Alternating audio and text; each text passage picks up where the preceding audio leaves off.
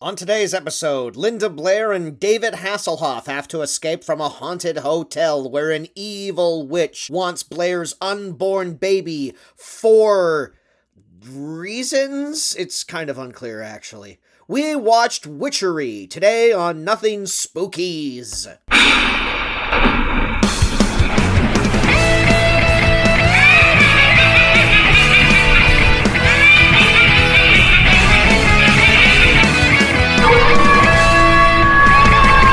Welcome back, however you wish to self-identify.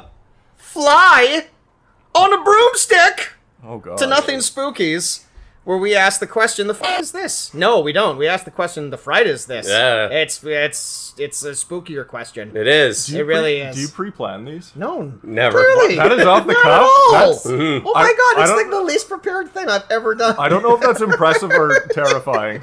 yeah, It's never impressive to me.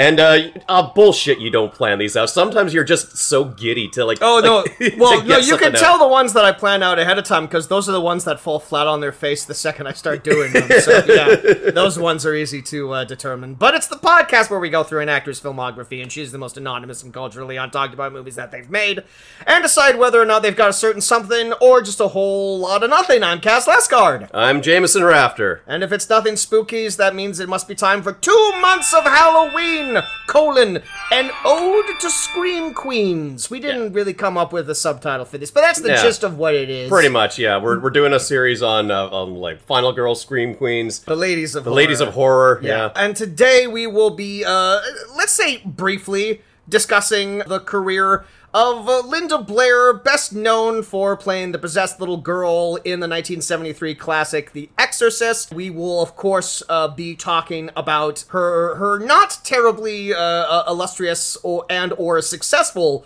career following. Following that early success, Shots Uh, fired. one of one of which is uh, today's film, a film that goes by many names. According to uh, Tubi TV, it is known as Witchery. Mhm. According to the opening titles of the movie on Tubi TV, Oh, yeah. it is known as Witchcraft Evil Encounters. Yeah, in, In in, in parentheses. In parentheses. parentheses, yeah. so they say, you know, that's the actual title, and they throw the parentheses in there. Not a colon. No. Full parentheses. It's like they were workshopping one of two titles, Mm-hmm. and then they just included both of them in the opening credits. yeah, there's there's some disagreement between like the editor and the director, and it's just like I think it should be called Evil Encounters. Uh, but in its native Italy, it is known under the title of La Casa Quattro, Mm. which is an Italian number that I already knew because quattro is my preferred number of fromagios. That's definitely unprepared.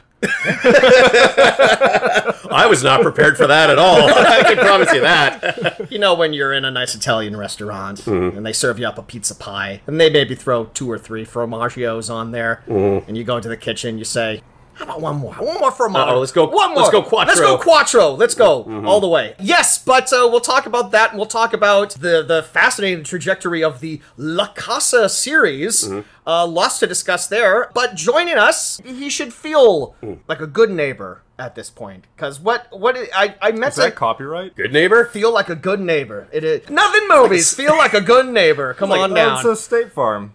Like a good neighbor. sounds State like a good neighbor. State Farm is there. It sounds like a '70s folk tune. I can just see like feels like a good neighbor in like the wavy '70s fonts. Feel like a good neighbor. This podcast is going to be a full hour before we start talking Yeah. about the movie. All right, back back by Before I'm popular demand. introduced. All right, back by popular demand. Third time's a charm. It's Danny Marquardt. Hooray! Yay! Welcome back, buddy. I meant to do the the math before we started recording. Is it only your third episode?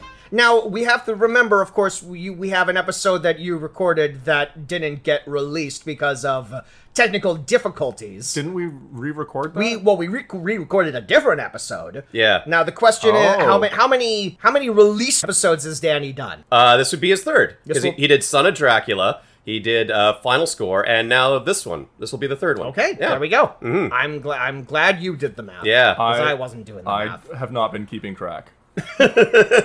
It is kind of disappointing that the one that we didn't release was the only one recorded in a proper studio.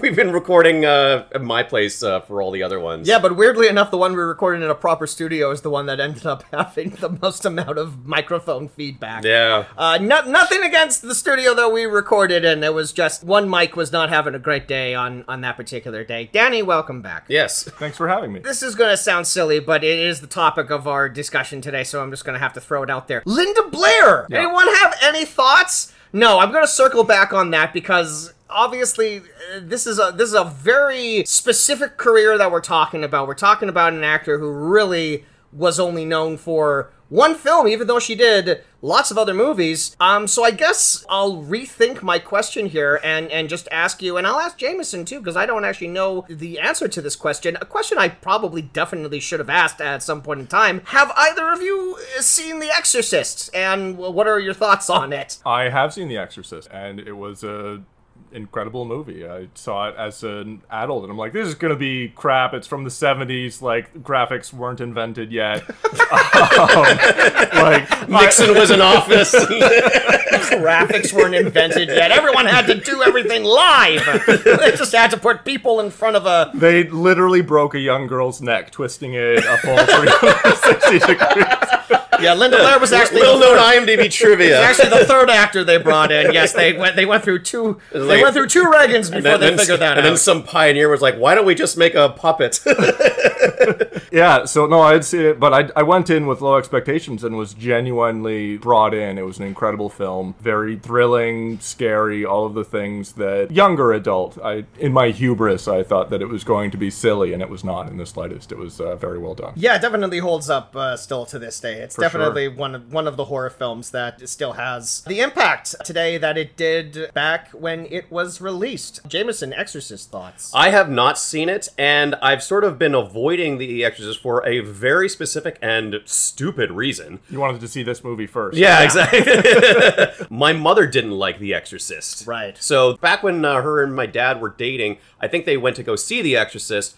And when I just like brought up The Exorcist in around Halloween one year, mom said like, "I don't like that movie. I thought it was stupid." Because like, she thought it was overhyped, and the like the only scary thing about it was it's just a girl that talks like this.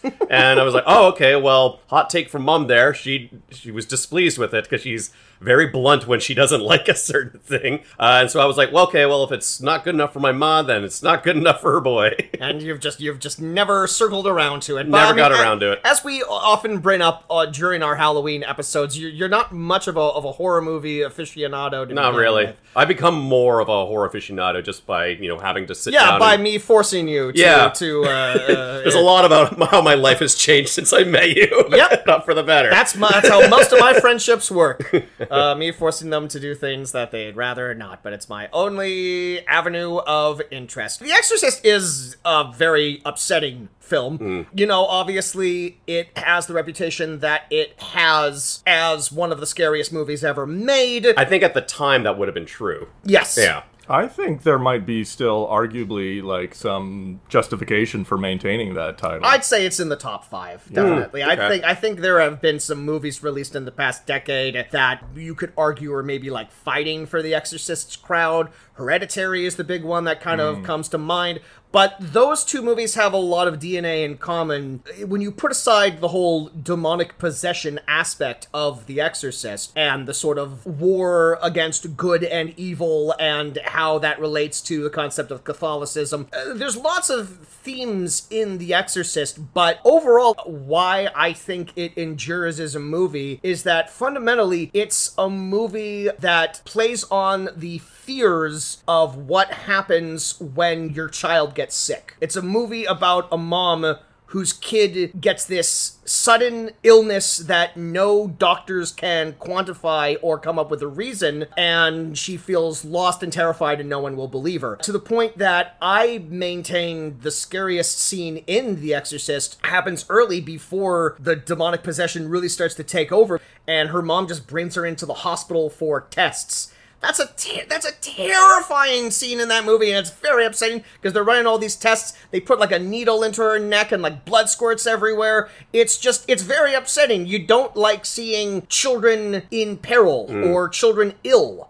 And yeah, I definitely feel like that is uh, something that keeps that movie resonant to the point that, you know, they're still making freaking sequels out of it. We got one last year that no one liked, and they're moving forward with yet another one with a different director. So we'll see what happens there. I feel like maybe should, they should just leave this damn franchise alone. Wasn't Linda Blair in that last Linda one? Blair showed up at the very tail end. She had like a little mm. cameo. Did she vomit out pea soup? She did very nothing. She gave her mom a hug. Oh, that's disappointing. She did. She has one line. And when I say it's a it's a tiny cameo, it's a very tiny cameo. Okay. Linda Blair largely retired from acting in general. Which when she if she does anything these days, she's doing things that sort of reference or parody her role in The Exorcist, or she's doing a documentary About The about Exorcist. The Exorcist. Yeah, riding that franchise into the ground. But I think, like, I don't think she seeks it out. I think you know the producers decide, okay, well, Yeah. we have like this popular brand, we have this franchise that we can keep going to, and Linda Blair is still around, so let's just throw a dump truck of money at her, and she'll She's come. not made of stone. Yes, right. yeah, it, it sounds to me like the metaphor of a parent's concern for their child being sick. Yeah, that just sounds like that metaphor was lost on my mother before she had kids. I don't Hey, know. look, no, Maybe if you had an illness when you were younger, your mom would have liked the movie better. She would have. Re- yeah, Yeah. what a priority for her! Like, mom, I'm sick. Quiet. I'm, I'm rewatching The Exorcist. If only you Pipe were a, down. if only you were a sickly child, she would have Would- she would have would loved loved this cinema classic. so the concept of child actors is a really kind of touchy subject to begin with, and Linda Blair's career really sort of highlights why it's so important to have people protecting kids in the entertainment industry. Like there are lots of people that can abuse them and take advantage of them and Linda Blair's career was not free of uh, controversy and it was not free of uh, strain on her emotional and physical well-being. She had a very public battle with drug use. What I will say is that the, the, the bare amount of research that I did looking at where Linda Blair is right now, she seems like a lovely lady. It seems like she's come out on the other side of things. She has real big fun aunt energy. Mm. Is what I is what I get from Linda Blair. Linda Blair would be like a fun guest at a cookout, and she would come and she would tell you all these crazy stories. Mm. Wait until I get to her dating history. That's Oh, kind lovely. of that's kind of the main thing. Mm. I'm pumping the brakes on her filmography, Jameson, because after The Exorcist, she basically never starred in a movie that anyone has ever heard of. right. Uh, one thing, one thing that I know from just like the barest amount of research I did on her is that she seems to do a lot of work for animals. yes. Yeah, she's like she's runs this one charity, I believe that uh, that rescues abused dogs. Uh, it is the Linda Blair World Heart Foundation, which she founded in 2004, which rescues and rehabilitates abused, neglected, and mistreated animals. And So, any, any anyone who does something like that, like you're you're good in my books. Absolutely, Yeah, well yeah. done, Linda Blair. Uh, so yeah, Linda Blair, uh, she was a child model at the age of five. Uh, Wikipedia says she appeared in over 70 commercials for Welch's Grape Jams, which I'm just going to say, too many commercials. How many different ways can we, uh, can one little girl inform the viewing public of, of, of jelly and jams? Like it's, at the end of the day, it's, it's the same shit Yeah, over and over again. Although a missed opportunity, she could have done the commercial as Regan from The Exorcist. this was before, this was before, Danny. No, This but was a- before- after the fact, you know, to continue to milk the success of That that, is film, true. go back and be like, you know, she's sick, she's vomiting out the pea soup, she's talking about mother sucking cocks in hell, and then she takes like a Welch's grape jam and she's cured. It's taking the devil Oh, out of so her. it's sort of a play on uh, hungry grab a Snickers type. Exactly. situation. You're not yourself. That was all she needed. I mean, the, the easy layup there is that she just starts puking up the Welch's grape well, jelly. you- that's that's poor advertising. Yeah. and no one's gonna want to buy Welch's grape jam or but whatever. that's a the fuck memorable ad. yeah, after The Exorcist, sales on pea soup basically just like went right into the basement. Yeah, it was it was really hard. But yeah, you're right, Danny. Any any sort of viscous liquid can come spewing from her mouth, and and that's that's the gen- that's the general. That's her legacy. That's her legacy. Unfortunately, it is kind of. So yeah, she has a few she has a few bit parts before landing the role of Regan MacNeil, the little girl in The Exorcist who is possessed by the demon Pazuzu and is exorcised by an old priest and a young priest. Right. And it was a worldwide phenomenon. It was nominated for Best Picture. She was nominated for Best Supporting Actress. She actually lost to an even younger actress, Tatum O'Neal, who I believe was nine at the time. So yeah, there my was a real Jeez. that was an interesting year for um, child performers at the Academy Awards. Now the Talk about peaking early.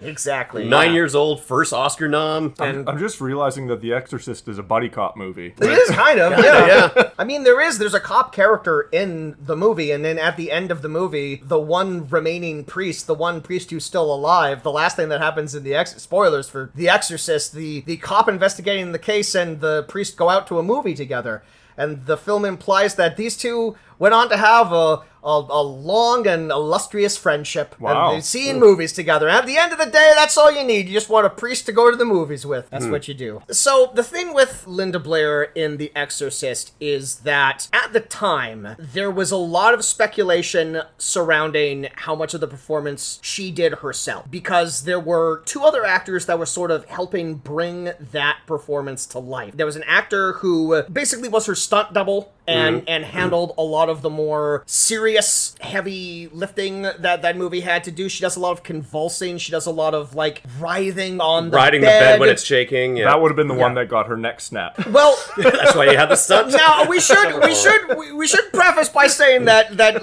no one's head was turned completely all the way around. Um, Linda Blair did suffer some injuries on the set of The Exorcist. It's funny that she had. Of course, it was a movie made in the 70s. Exactly, yes. You don't you don't star in a movie in the 70s without suffering a couple of bruises. Uh, no one uh, came out of the 70s unscathed. famously, uh, The Exorcist, uh, uh, Ellen Burstyn, who plays her mother in that movie, got lifelong back problems from that movie, where she's uh, a scene where she's supposed to open a door and then get uh, pushed back by a demonic force. They, of course, because it was the '70s, they accomplished this by tying a rope around her her, her waist and and yanking it. T- tying the other end to And, the bumper of a car. Yeah, and uh, and she's she said that you know like I love that movie. I love I love the the work that we did on it. It's an endearing classic. But uh, yeah, no, it gave me lifelong back problems. So so fuck William Friedkin. Fuck everyone involved in this. Suffering for their art. Yeah, and of course, um, as as as your mom so brilliantly pointed out, Jameson, it is a movie where a little girl talks like this. Yeah. there was a there was another actress, uh, Mercedes McCambridge, who famously did the the demonic voice or whatever. So there were a lot of naysayers saying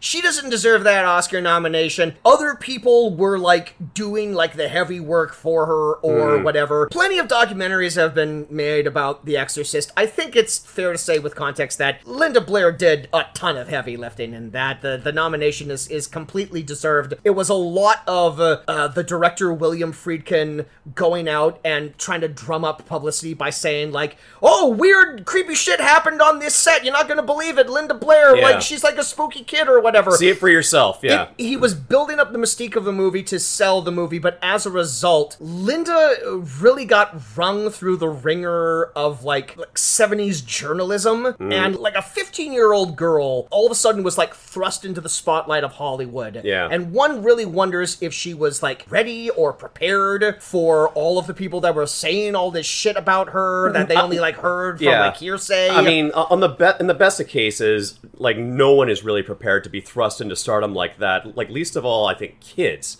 Mm-hmm. And unfortunately, I think like as a society, people are really hard on uh, on kid actors. I mean, the famous example is uh, the kid from the Phantom Menace who just Right. wanted to be an actor in a Star Wars movie. Uh, you know, probably every ten year old boy's And I, and I dream. th- and I think only recently has publicly come out and said, I finally found a small modicum of peace in my life. Mm. I'm like finally okay. in like my like early 40s or however Yeah. old that kid is now. yeah. Uh yeah, poor guy. Didn't didn't Joffrey from Game of Thrones, like the actor, get death threats? Probably, yeah. Mm. He took a big break from acting, but I do believe he is he has finally returned. Yeah. So I'm, I'm, I'm getting my piece out there now that uh, you know everyone take it easy on, on kid actors because when we get to talking about the movie, I got some thoughts about the kid actor in this movie. Fuck that small child. Oh boy, that small, probably Italian child who doesn't actually understand the words that are coming out of his mouth. So I'll just breeze through the rest of Linda Blair here because I'm itching as much as you guys are to talk about There's plenty to talk about. plenty to this talk about this movie. So her immediate follow-up to the Oscar-nominated success of The Exorcist uh, is the 1974 television film Born Innocent. Uh, where she plays a teen runaway abuse survivor. Uh, the film was heavily criticized by several groups for its depiction of female on female sexual abuse, which I think uh, in today's modern parlance we can all agree is something that definitely happens, but perhaps in 1974 that was a more nuanced uh, topic that I think people were People weren't ready for it. People weren't ready, really It was ready ahead, to have that. truly ahead of its time. Yes. Yeah. Uh, Itching for a remake is what I'm saying. Oh God, let's get on it. Bring Linda Blair back. Bring her back. She's playing the older lady now. Exactly. Now she's the one doing the abuse. Oh God, it's really hard to make jokes about this stuff. After Oh, that, uh, she's in Airport 1975. Either of you familiar with the Airport series? Isn't that the movie that airplane spoofed? kind of yes and no. Airplane is literally spoofing a, a Disaster genre. a specific movie. I believe it's called Zero Hour. Oh, okay, okay. That was like a cheap TV movie. Like lines of dialogue are taken verbatim Right, from right. that movie. Like Airport, it's that same genre of like disaster movie type stuff. But yeah, basically, Airport was a series of movies where a famous cavalcade of celebrities got into an airplane, and then something happens. Some shit goes down, and it's it's uh, uh, there are snakes on the plane. yeah, something's always going down. I mean, snakes on a plane is in the grand tradition of the airport movies, Okay. you know. So All it's right. like you know, like an engine goes off, or or someone has a bomb on the plane. Sure. This There's back- something on the wing. Yeah, something. She's in Airport 1975. I believe she plays a girl who is trying to get uh, a kidney, and she has to get to the hospital by like a certain point, and uh, oh, oh, Or, oh, the kidney explodes. there's problems on this airplane. Following This that, This kidney needs to be going 50 miles per hour. it slows down at all. that's why they took the Concorde. That's right. Following that, she's in the TV movie Sarah T. Portrait of a Teenage Alcoholic. oh my god. Uh, which it, it, it says exactly what it is on the tin, Mm-hmm. uh, but it's an interesting TV movie because uh, it's an early film uh, for both her and Mark Hamill, and it's directed by Richard Donner, who would go on Oh. to direct the Superman films and Lethal Weapon and all of that. So it's an early TV movie for for, for three people who it, it- Who've it- gone on to bigger and better huge, things. bigger, better things. It was it was like released on TV in 1975, and then I believe it got a theatrical release a couple years later after both Linda Blair and Mark Hamill became like marquee names, basically. Mm-hmm. All right. Then 1977, she's back to the franchise that made her a star for Exorcist II: The Heretic, one of the worst movies ever made. It's it's absolutely impenetrable. It makes absolutely no sense. There's like scenes that take place in Africa. There's like they're in like this weird building with like autistic children who are like moving big like cogs around. It truly is an impossible movie to try and quantify and describe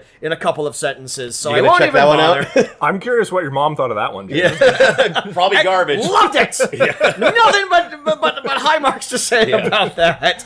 And then basically from there, she's just in a string of schlock. She just becomes like a schlock queen. Mm. She's in all of these super cheesy sounding movies. 1979, Roller Boogie. 1981, Hell Night. 1983, Chained Heat, which is a women in prison movie. 1984, Savage Streets, where she's like fighting like a bunch of gang members, like it's a fucking Sega Genesis game. That one actually looks pretty fun. 19 All of these sound great. these all sound pretty good. I'm not gonna lie. 1990, she uh, directly parodies uh, her own performance in uh, The Exorcist for the first time uh, in the film Repossessed, Right. which is a Naked Gun style parody, also starring Leslie Nielsen as the priest. Mm. Uh, so she's not playing her character from The Exorcist, but she- come on, she's, playing- essentially she's playing. playing someone who was possessed as a kid, and now as an adult, she's possessed again. She's repossessed. Right, yeah. I've been, I've been meaning to try to watch it. It looks like one of those bad Leslie Nielsen comedies. It would definitely, it would definitely be on brand for you, Jameson, to watch the parody of The Exorcist before you see The Exorcist.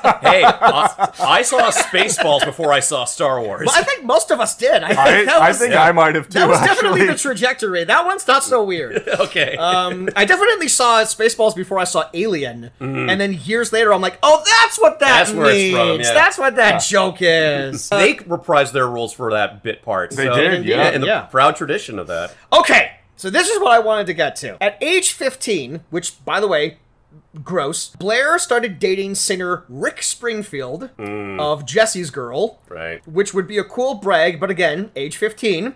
Uh, things were different back then. Probably this you you can you can fill in the gaps and how this probably contributed to her drugs and alcohol. She uh, now now I'm gonna go through her her dating history. It'll become apparent almost immediately that Linda Blair has a type. Okay. So she dated uh, Rick Springfield. She met at a concert at the Whisky A Go Go, what she was doing there at the age of 15, uh, Lord, Lord knows. Drinking. She also dated Deep Purple bassist Glenn Hughes, guitarist Neil Giraldo, who would go on to marry Pat Benatar, Styx guitarist Tommy Shaw, and Jim Dandy Mangrum, the lead singer of Black Oak, Arkansas. She also dated Rick James for two years. Uh, the story goes during a 1982 topless photo shoot for Oui magazine, Blair told interviewers that Rick James was, quote, very sexy. And when James read the article, he immediately reached out to her. According to James's autobiography, it was apparently a love affair for the ages. It stayed with him for years. He even wrote a hit song, Cold Blooded, about uh, his experience with. Uh, Cold-blooded. Yeah. Okay. uh, so that that song is about his relationship with Linda Blair and Crazy. and uh, in particular, uh, the cold bloodedness of it refers to an abortion she had and didn't tell Rick James about. Now, I listened to that right before I came here. If you were to tell me that's what that song was about, I No clue. never would have guessed because it's a very funky song. It's a Rick James song. It's a funky little beat. So it, that, that- to know that it has like this kind of tragic backstory to it is is kind of wild. I was just gonna ask if she was of age at this point. In Oh, I 1980 hope so. oh, in 1982, she absolutely would have been. Okay. She would have been in her 20s, but uh, yeah. Rick um, James is better than that.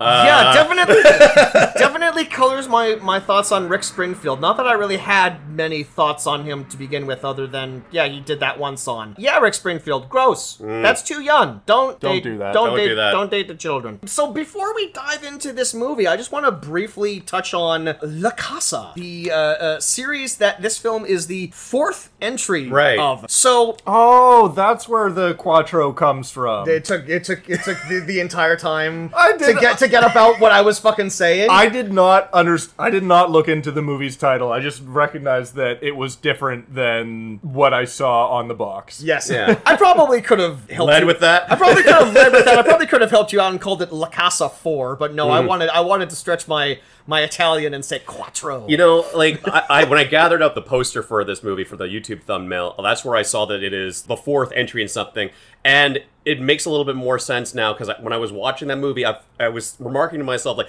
this feels like it's a sequel to something because they're not really setting up enough about this hotel setting for me, and uh, Also, yeah, it's not a casa, it's a hotel. it's a hotel, yeah. It's not a house. I mean, the hotel it, is, was a house at one point in time. Was it? D- did they clarify? I don't remember that. I don't remember movie. that now. I mean, what is a hotel if not a house for people who aren't uh, staying forever? It's a business. It's not a. It's not a it's not a home. Well, we can we can hash this all out. We can really, the rest of the podcast is about we can let it, we can let it, we can litigate I'll, this. someone get like an Italian phrase book here. We're gonna get to the bottom of this. So that feeling that you had, Jameson, that it's like, oh, we're not really learning much about this hotel. I bet this comes uh, from earlier. The La Casa series basically is a series in name only. Uh-huh. None of these movies are connected to one another. Oh, so it's just a bad film. these perfect, are yeah. these are all standalone films. Now we have a bit of a history talking about this because we've covered plenty of Italian B movies. Oh, yeah. on this podcast. Some of my favorites. So the thing with the Italian film industry is that at this point in time, they had this habit of retitling movies that weren't part of a series as part of a series. The most obvious example of this is uh, the great uh, Lucio Fulci zombie movie, which is called Zombie 2. For years, North American film fans you know, uh, before the internet came out, scoured film magazines trying to find Zombie 1. They couldn't find Zombie 1 anywhere. They could only find Zombie 2 uh, when it came to, you know, like their mom and pop video stores or whatever. It wasn't until years later that they found out that Zombie 1 uh, within Italy is just George A. Romero's Dawn of the Dead which they just retitled and released to Italian markets. So the thing with the La Casa series is, as I was doing uh, my research into this, IMDb, Wikipedia, Letterboxd, all of them, you know, like if a film is part of a series, it'll include links to the other films in the series that you can check them out. All of the sources that I just cited, they only had links to La Casa 3 and La Casa 5, which, for the record, uh, are individual movies. La Casa 3 is a film called Ghost House, and La Casa 5 is a film called Beyond Darkness. These were all independent films that were uh, co produced by Italy. Uh, under these titles, and then when they were released, the producer uh, said like they're part of this uh, series. Also, Trust me on this. Take my word for it. uh, it. And and as we talked about earlier, uh, complaining about the fact that it's a hotel and not a house. La Casa, of course, means the house. That's what it. That's that's what it means. So I looked around. I'm all like, did they just start this at like number three? Does does La Casa one and La Casa two? Does do those even exist? Is So- it like the Amityville horror or something? Oh, like you're that? really close. Oh, dang. Yeah. Casa 1 and Casa 2 do exist. We know them as The Evil Dead and Evil Dead 2 Dead by Dawn. oh, come on. That's not a, that's not a house either. That's it's a like shack. shack. It's more of a house than a hotel. You gotta That, admit. you know what? Kinda I'll give more of a yeah, house I would there, not pay to stay in that place. okay, so that's La Casa 1 through 5. Now, to make things even more confusing, are either of you familiar with an American horror series that is called House? I know House MD. I know Doomhouse. I don't know what you were referencing. I'm not even. That Danny is- does. I do. Yeah, that is that is the or the beginning of the internet yeah. Doomhouse? on the something Wait. awful forums. I feel like we've we talked about literally this before. Doomhouse was a movie that was made by the administrators of somethingawful.com. It's just two guys fucking around in the house. This sounds really familiar. I don't know. I'm gonna have to scrub back through My past guess episodes. is I feel like we've you talked. have probably watched it and just not remembered it. I, that happens with a lot of things that, that that enter my brain. Okay, so House is a horror film series that came out of the uh, 80s. Uh, it, it is exactly what it sounds like. It's a it's a spooky ghost house series. The, the weird thing about uh, the series is House One has George Wendt in the cast. House Two has John Ratzenberger in the cast. So that's kind of like the weird little footnote that it has. They they're never together and they're in completely separate films. So uh, that's a series that's literally called House in North America. Right. When the La Casa series, the producers of La Casa, got to part six, they decided, oh, let's finally get around to stealing from this series that uh, that is also called House. Here's the weird thing, though. They started with House 2. House 1 is not canonically part of the La Casa series. It goes La Casa 5, the standalone movie. La Casa 6 is House 2. Brief sidebar about House 2. House 2 does have maybe one of the best subtitles of any movie ever. Is it in brackets? It's not in parentheses? it's not in parentheses. no, I just want to throw this out to the crowd. Think of like a, a really good house-based pun. What what what would you assume would be like a good like house pun that you could use for a sequel to a movie called House?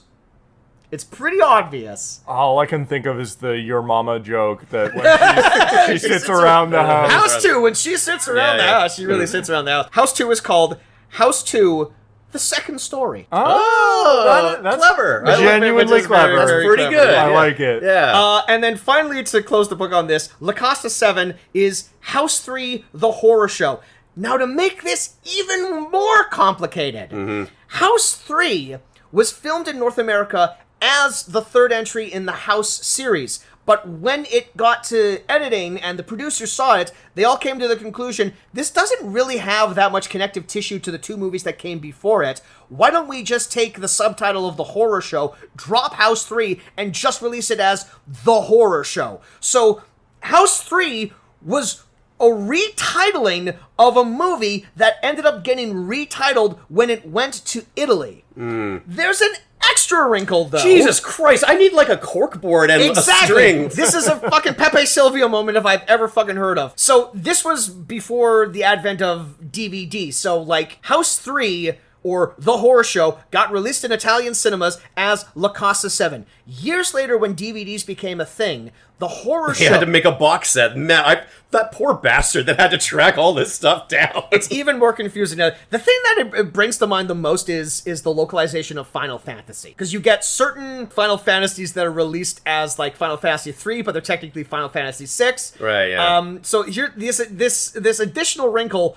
when DVDs became a thing.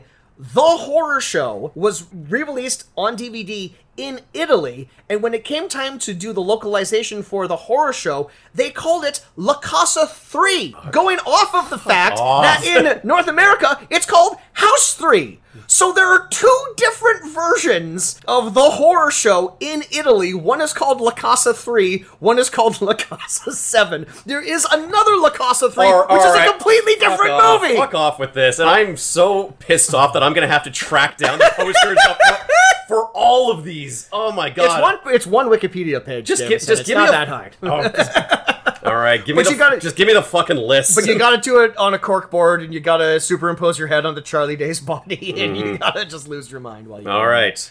Okay, so now that that's uh, all done with, uh, we can finally delve into La Casa We, Four. we can enter the house. Yeah. We can, and we can we can do some witchcraft. There's witchery afoot. There's, there's witchery afoot. Mm-hmm. I genuinely, this is one I genuinely am not sure what we're going to title this episode, Jameson. There's so many options. it's witchery. It's witchery. All right, fine. all right. Well- final thoughts, Danny.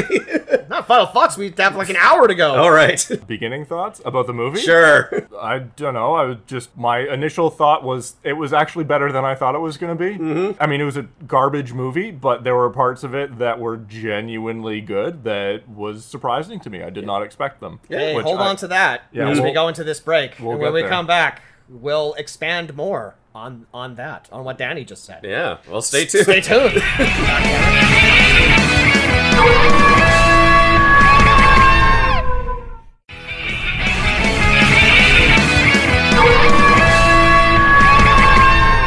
We're back. We're back. Witchery, which, which, is- which is what we decided to call it. It is directed by Fabrizio Laurenti. Mm-hmm. Now, Sounds familiar. well, okay. Actually, he didn't he do one of the Ator movies? well, okay. Here's the thing. Mm. So this movie is produced by, Joe D'Amato. by Joe D'Amato, Yeah. the director and producer of like Sexy Night Report and Hercules: A Sex Adventure. and and previous episode Ator for Quest for the Mighty Sword. yeah, yeah, yeah. Which in certain territories Is Troll Three? is Troll 3, which mhm. ties it back to the thing that I was talking about of Italy fucking looping in movies that aren't actually part Just to of fuck with us. the series. Now, if the name I say Fabrizio Laurenti sounds familiar, it, it, it shouldn't, but It doesn't. No. I have tangentially brought it up before because the movie that he makes after this, this is his first film, the movie that he makes after Witchery is a film called The Crawlers, which also got retitled as Troll 3. oh my! If you remember God. from that episode, there are two Troll 3s, much like there are two La Casa 3s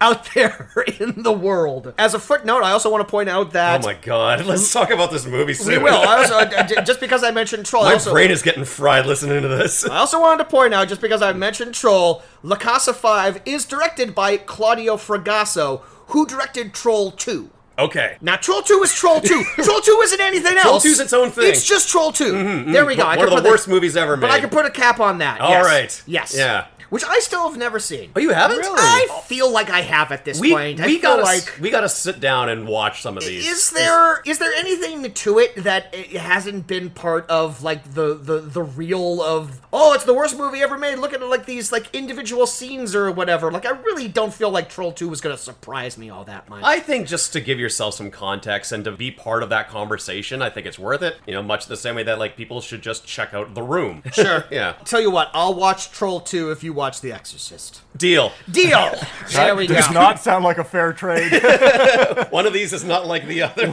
one is a timeless classic. and the other one The is other one is two. The Exorcist. but but to be fair, I'm sure if I made my mom watch Troll 2, she also would not like it. So I feel like it's they're parallel stories. Okay. All right. So La Casa Quattro. No, sorry, Witchery, or I guess Witch Evil encounters. Evil Encounters. However you slice it, it opens with a pregnant woman running in the uh, the, the like on, on the shoreline away from some pilgrims, and she's running pretty good for a pregnant woman. Some some uh, some Amish uh, farmers with scythes who pitchforks. are pitchforks who are none too happy that she is uh, pregnant on this island. There's no other context given. No, no, basic, no context is given. I mean, like a, a small amount of context is given later on in the movie. It does not help. I mean, we can deduce from this opening scene that these people must think that this lady is a witch.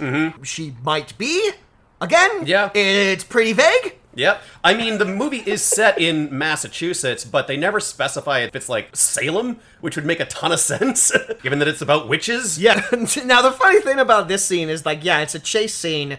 The the, the way that the, the the choreography of this chase scene plans out is really funny because sometimes the pilgrims are hot on her heels mm-hmm. and like the very next shot she she's gotten like a burst of energy she, energy because she's way ahead of them. Yeah, She eventually gets into this abandoned hotel, or I guess it's not abandoned at the time that that she gets there. It looks the same no matter what era we're looking at it. Um, but Incomplete is but how like that there's like looks. one moment where she's like running down a hallway trying to get into rooms all of the doors are locked and like i i noted while i was watching it this is this is the longest goddamn hallway in the world because like the pilgrims come up the stairs she runs ahead a little bit tries to open a door cuts back the pilgrims are still coming up the stairs she like moves like half a half an inch down the hallway Yeah. they're like a little bit close like it's ridiculous the It's- spacing of it Yeah, all. it's like that part in uh, Monty Python and Yes, the Holy Grail where yes. Lancelot is like continuously shown in the same shot running on the field. Uh, yeah, and the pregnant lady runs to the window and jumps out. You know, she falls to her death, and we smash cut- presumably presumably, and we smash cut to uh, Linda Blair waking up from a dream, like she dreamed this true story. Okay, so this is a genuine question. oh, and Linda Blair is pregnant. And Linda Blair is pregnant. Yes, this is a, this is a genuine question. So there's there's uh, there's a couple of actresses in this movie. One of whom is Linda Blair. Uh, the other one is uh, uh, uh, this character Leslie, who we'll get to in a 2nd who's played by an actress named Leslie Cumming. One assumes that's her actual name. Much like these movies, a lot of these actors had names that weren't really the names that they were born with. But so there's Linda Blair. We have this Leslie Cumming actress who's an actress that looks a lot like Linda Blair, uh, to the point that I was a little confused in the early scenes. I scenes. was confused as well. trying well, to figure yeah. out Yeah. Uh, uh, which one they were. And then we have the woman in this opening. Now, this is a genuine question. Is this a third actress? Or is this one of them? I genuinely do not know. There's no. What did the credits say? Uh, like Nothing? They're not credit. They're not crediting like every background character Okay. or whatever. Oh, crazy. Um, so yeah, I I really could not tell because it's confusing because it's meant to be a flashback to something that happened on the island earlier. It's tied to I guess this film within the film that we'll have to get to at a certain point. But I once it was over, I went back and I watched the opening scene again. I still can't tell if it's this Leslie actress. Uh, it's I don't think it's Linda Blair, but like I, I, I, I can't tell. I genuinely can't tell if this is a person who's already I in the movie or if, if she's only in this one scene. Didn't notice that at all. All right. well, it'll be a mystery for the ages then. Yeah. One thing that I did notice throughout that opening sequence was the soundtrack. The fucking theme is like Morse code.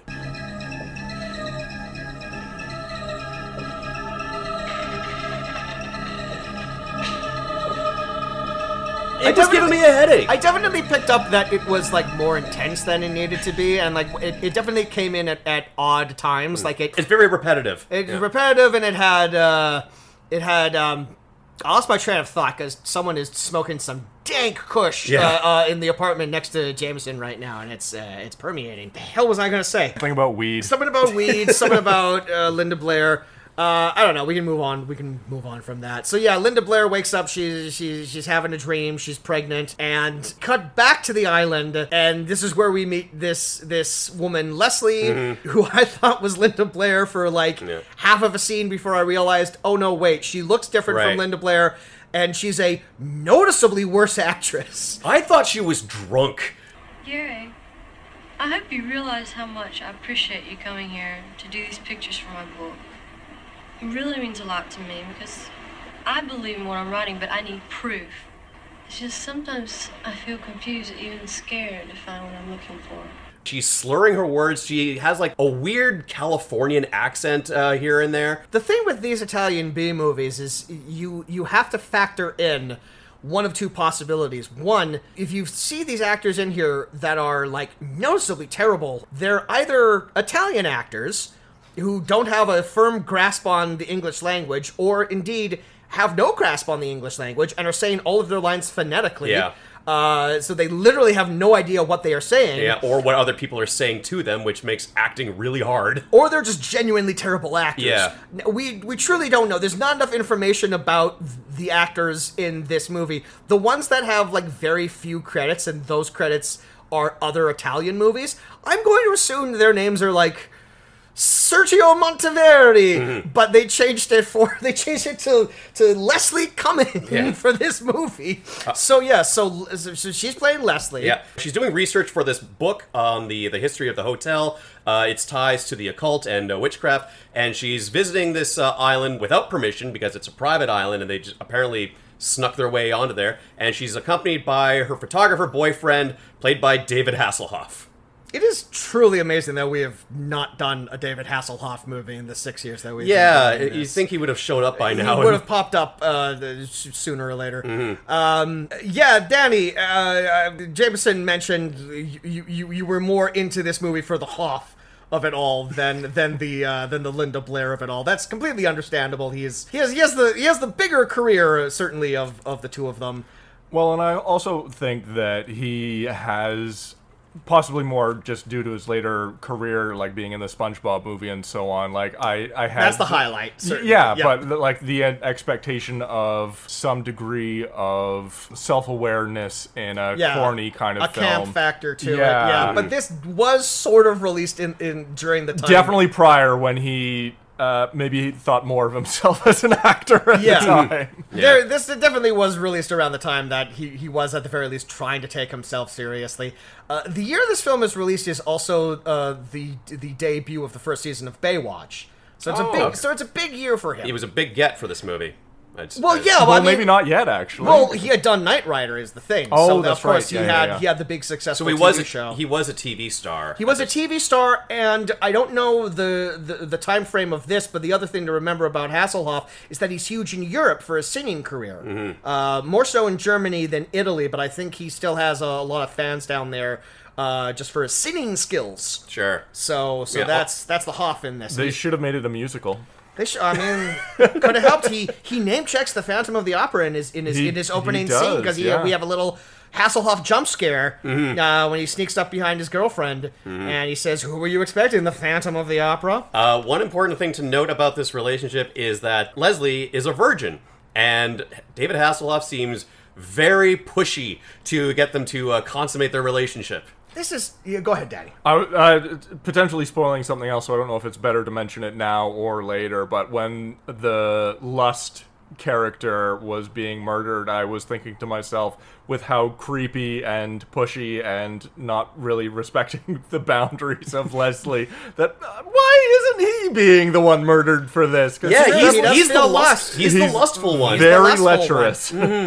This is something that you would see in in narrative film uh, from this era. That you know, it bothered me when I was watching it. Uh, uh, it's part of this thing that contributes to. Uh, the psyche of young boys when they're trying to figure out how relationships work. And it's Yeah. just mm. more of this bullshit machismo where it's like if you're in a relationship with someone and she and she doesn't want to be sexually active or whatever just just hold on. Just keep mm. just keep pressing it. Yeah. and eventually she'll come around or whatever. Mm. And like it nowadays you you look at this and you're just all like buddy if, Plenty of fish in the Look, sea. if sex is important to you, but it fundamentally isn't important to her, you need to end the relationship. Yeah. You just need to. And like, look, if she doesn't want to have sex with you at your 80s Hasselhoff, she's not going to have sex with you at your 90s Hasselhoff. you got you got to read the writing, buddy. I did think that this relationship did not make any kind of sense. They, he was not interested at all in the occult or the book she was writing. He was like critical of it. Well, but and he, cha- he changes his opinion like mid sentence sometimes. Like at first they, they're talking about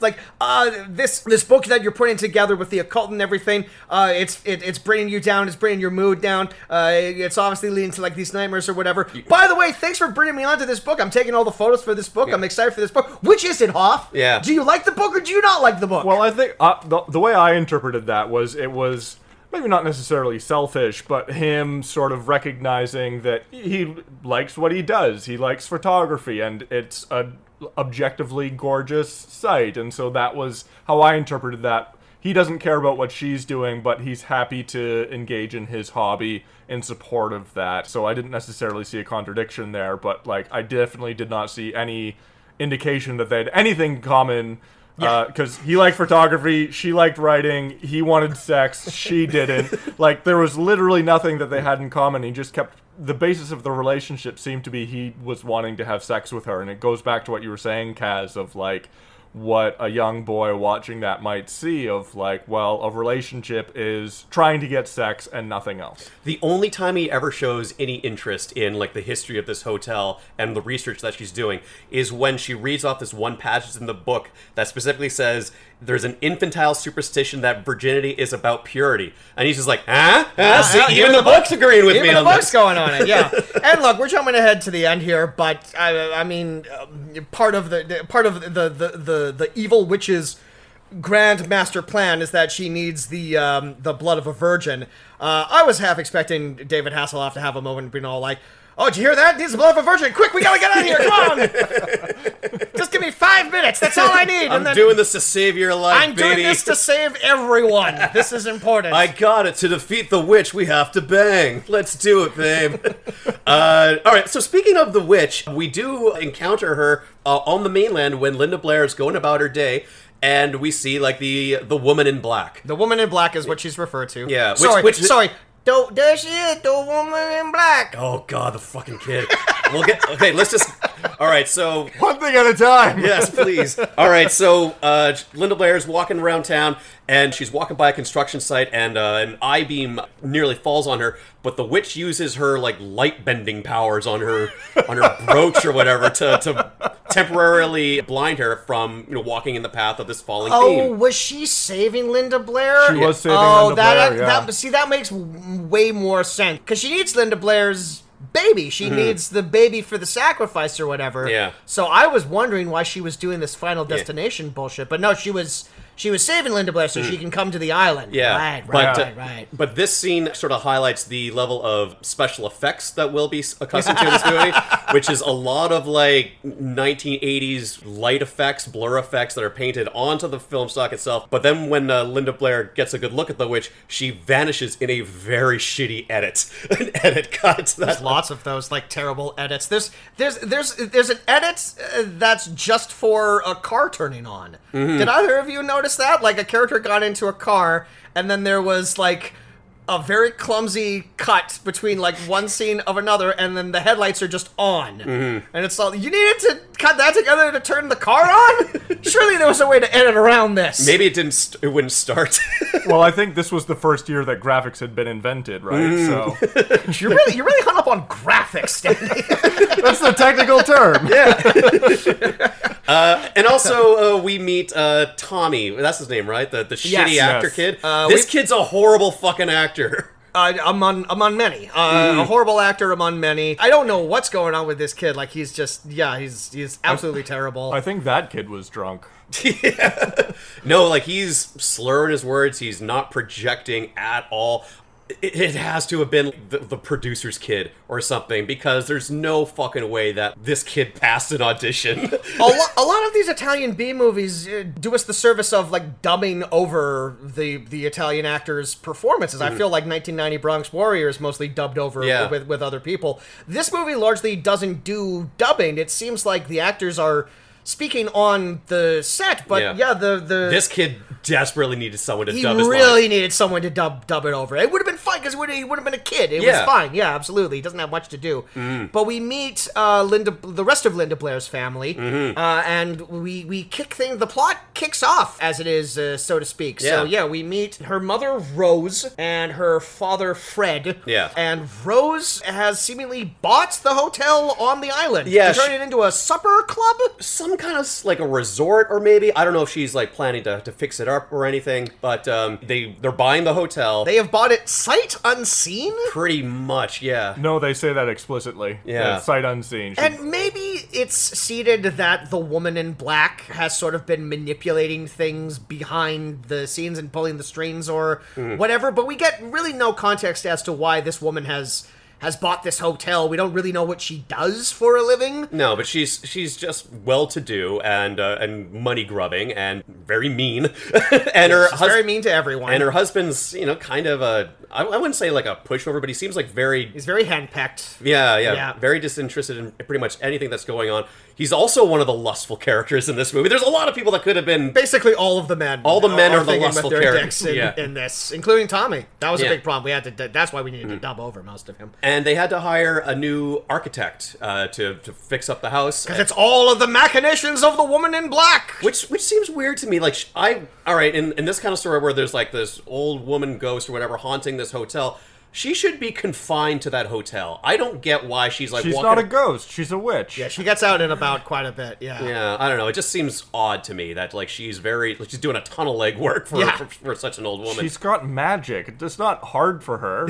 she just fucking teleports. Exactly. whatever. It's not like she's like catching a ferry over, Jameson. All right, she's fair just closing her. But She's just she's she's twitching her nose. Right. She's and then using she, the yeah. the She cl- light bending. Yeah. with her. Yeah, she has like her little jewel mm-hmm. on her on her thing that sends her to like the witch dimension. Yeah. Or whatever the fuck's going on there. Oh, and yeah, and I guess like she does like sort of appear in reflective surfaces Yes. every once in a while, which never startles anybody. Like they they see an old woman like in the reflection, and they're just like, oh.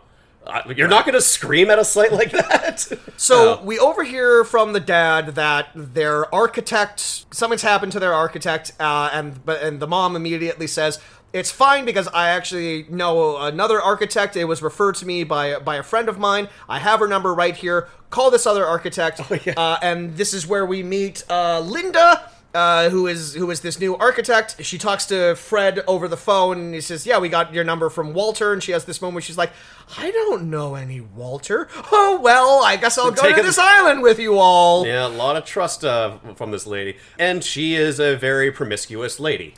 I feel like a 1989 sensibility uh, would want us uh, to call this woman a slut. Uh, I, I am, I will not. Uh, I feel like we've moved on from this archetype since this movie was out. She's just a lady who knows what she wants. She's a career-oriented woman in the '80s, which and she likes to get, she has to die. but she likes to get down. That's And right. you know what? There's nothing wrong with that. We No. should, but but according to this this woman in black, no, we need. She specifically has manipulated things behind the scenes Mm-hmm. so that this lady architect can come to. I say lady architect because the, the plot the plot requires, Demands it, yeah. demands it of me. Um, but this particular architect has to come to the island largely because she is promiscuous. Yep. That's the only reason that she's here. Mm-hmm, Okay, this was the only promiscuous women in America at the time. who was an architect. Was an there was only one. That was a that was a very thin field. Yeah. Because it wasn't. Yeah, it, it was it was hard out there for for lady architects in the 80s, particularly ones who got around. Mm-hmm. It was a big problem. So just a quick note on the casting here. Uh, Rose, uh, the mean old woman, is played by an actress named Annie Ross. Either of you ever see Superman 3 with Yeah, Richard yeah, Pryor? yeah. So this woman is part of uh, an inadvertent childhood nightmare for uh, a lot of kids who sat down to watch. Oh, she she's the one that becomes like that computer woman, that yeah, robot she's, woman. she's yeah. the villain's sister who becomes like a robot woman Right. near the climax of the movie in a very terrifying fashion. Slightly even more so than what happens to her in this movie. Yeah. The- Linda, the architect, is played by Catherine Hickland, who at the time of filming was married to David Hasselhoff. Oh, wow. Ah. I think we've been calling Linda Leslie previously till now. Is that No, Leslie is Hasselhoff's- Gary's Oh, right. girlfriend. Yeah, Oh Hasselhoff's movie All- girlfriend. all His real these- girlfriend is playing. Linda, mm. All these white his women His real look the life same. wife. Yes. Yeah. All these, these. Well, she's blonde. Yeah.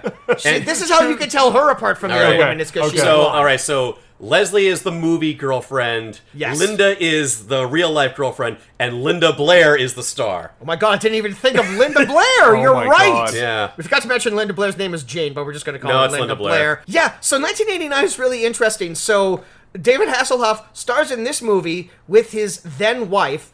Also, according to Wikipedia, he divorces Catherine Hickland in 1989, and in the same year marries his second wife.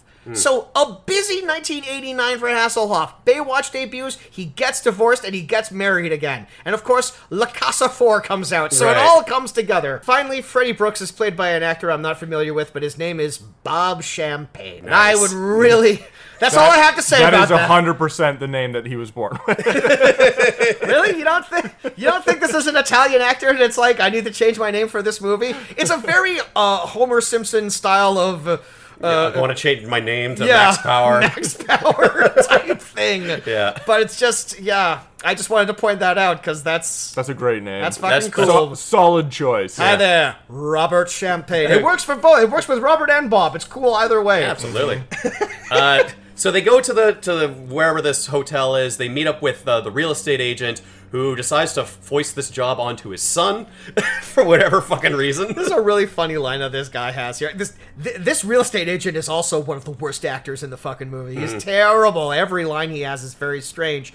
Um, but he had one line that made me laugh in this introductory scene, uh, where he says like, uh, "My son will take you out to the island." We're one family here. Mm-hmm. And he says it like that, which makes me think that that was something that he was like rehearsing in the mirror by himself earlier. Where he's just like, we're one big hap. No. No, that's We're one right. big. No. That's We're the- one family. that is hundred percent the line from the self-made commercials that he makes for late night television, where he's like the actor, Yeah. like used car dealership style, Yeah. where it's like, "Come to this real estate. We're one family here." Come to one family real estate. You'll get a Alan house from one family. Alan and Son Realty Co. We're one family. um, yeah, this this uh, real estate agent is a, is a bit of a motor mouth. He drops the, the real estate agent's son. the real yeah the, Yes. Well, he he is a real estate He- agent. yes, he, but when his father leaves, he becomes the real estate Exactly. agent. Yes, yeah. And so he's saying that, oh yeah, like it's it's a it's a wonderful house. Uh, you know, people don't have been sort of avoiding it because of a superstition. He describes it as witches and rainbows and shit. That's that's one of my favorite lines. Yes. and he's the guy who uh, is like making flirty goo goo eyes with the pretty architect, even though I think she has a boyfriend. But whatever. Like She does. Well- Well, it's because she's, uh, for lack of a better word, a slut. Right, Like, that right. is- she's. She has a, sinner. She has a male friend who we see in the the opening scene. You know, in in the stage of undress, hanging out Mm-hmm. at her apartment, and is disappointed when she has to go to work. Yep. Um, and he should be disappointed because as soon as his lady leaves his side, she immediately makes eyes for someone else. But you know what? It was the late '80s, Mm. and she was a, she was a career oriented woman, Yep. and she had she had no time to think about the hearts that she was breaking along the way. She had to move. or how had to she go. be how she be using like a demonic ritual. I should say the real estate agent, the the son anyway, looks more like an older Matthew Broderick than current Matthew Broderick. He sounded like Matthew Broderick too. yeah. Well, it's- welcome to this island. It's a, it's a it's a bit of a fixer upper. I, I definitely have to say. Oh my god, when the um when the mother goes into the house and she's like, It's gonna cost me a fortune to fix up this place. And it's like, no, it's not. Get a couple of friends to help move out the few bits of furniture that's around, hire like a painter, and you're done. This is like a structurally sound looking house. That's what the real estate agent said. Yeah. He just said it She's just being a bitch. And if you're if you're not happy about it, maybe you shouldn't have bought a property sight unseen, madam. It's almost like because again, this is another like confusing thing where the real estate agent is showing them around the house. They've brought the architect with them, I guess, to give them an estimate of how much work that they have to do. Hmm. But he's showing them the property as if she hasn't already bought the damn thing. It's her; she owns the damn thing. It's Mm-hmm. Yeah. like the why ink is dry Yeah. on the on the lease. You're, you own this now. you have sunk this family. Before we go further, I do want to point out because it seems like we've passed this part of the movie, and I Sure. really wanted to touch on it. As we do quite Be- often. Before they go to the island, sweet little Tommy is warned by a, a little girl in a wheelchair Right. about the island. And I saw that and I was just thinking, you know, that's that's some good diversity in this movie. They're really they're really progressive about including right. a, a, a young girl in a wheelchair. And I don't know, it just it just stuck out to me as some, that's clearly not what they're doing. They're I, I don't know. No, but that was the, You're right. That is the one token diversity higher on this. Yes. movie. This is a very white. It's a very movie. white film. Yes. Yeah,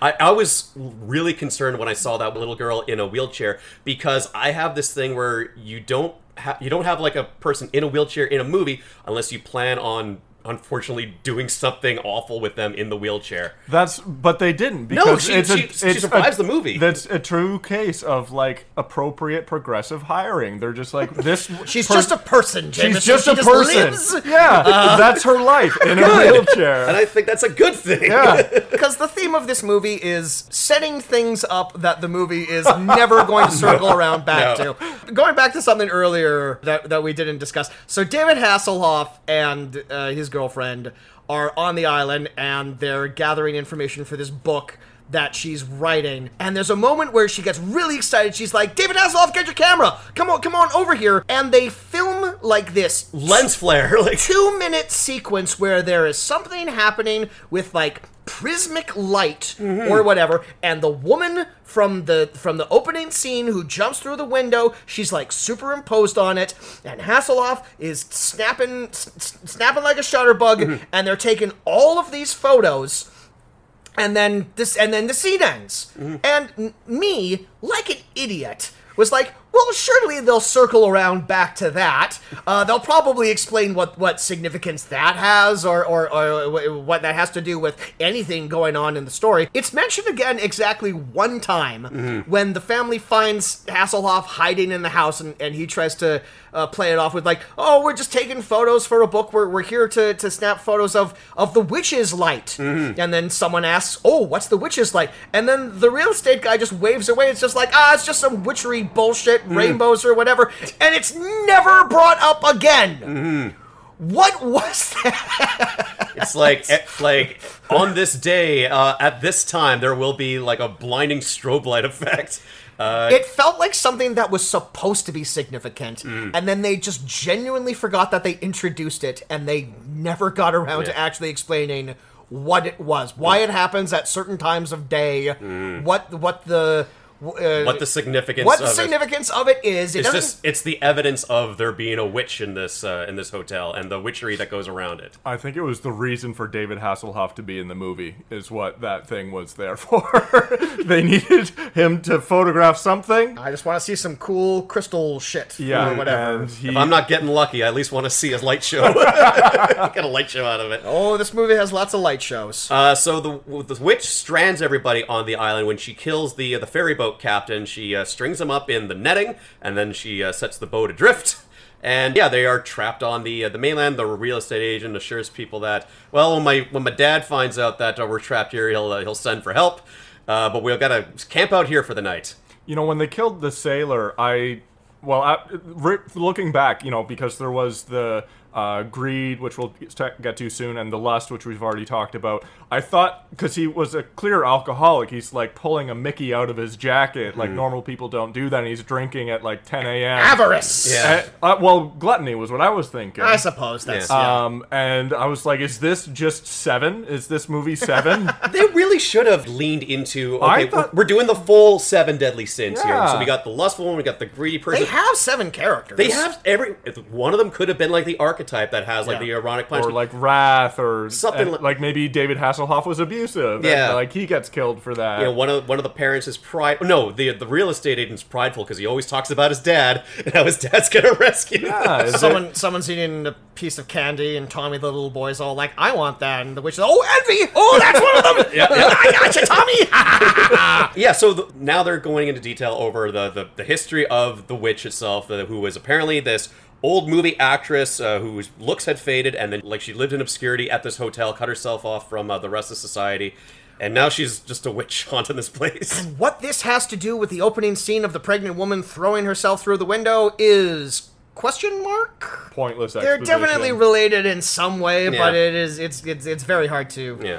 To discern. Uh, this is a German actress, uh, Hildegard Lund, playing the uh, woman in black. Producers apparently courted and desperately wanted uh, cinema legend Bette Davis to play this role.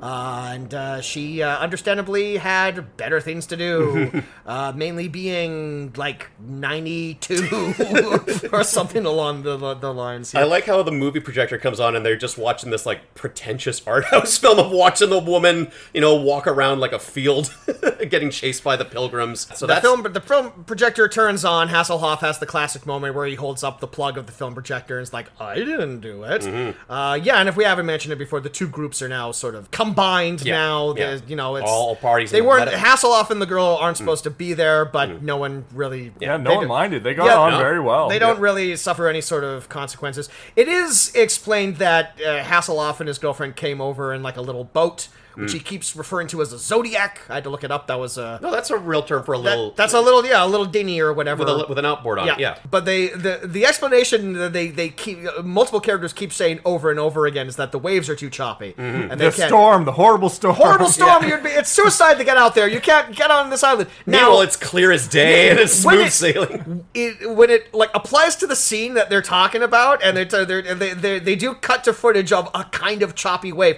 but there's plenty of establishing shots of this water. Yeah, that ocean is smooth as fuck, boy. There's not a cloud in the There's Not a sky. cloud in the sky.